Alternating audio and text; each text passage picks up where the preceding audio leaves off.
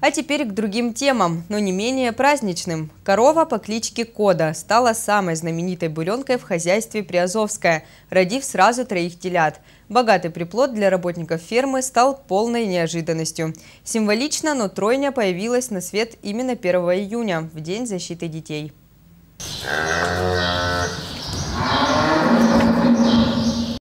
Своих малышей мать-героиня после искусственного осеменения вынашивала 9 месяцев. Сначала родился один теленок, говорит заведующий молочно-товарной фермой хозяйства Приазовское Николай Борисов. Через несколько часов на свет появилось еще два. Итого богатое потомство составило две телочки и бычок. Не каждый день такое увидишь, признается Николай Иванович. Даже появление двух телят вызывает удивление. А тут сразу три. Такое бывает очень редко. А в истории хозяйства это вообще первая тройня. Статистике появления тройняшек приходится на 37 тысяч отелов, что составляет всего 0,5%, тогда как двойни появляются гораздо чаще – 5-7% от общего числа.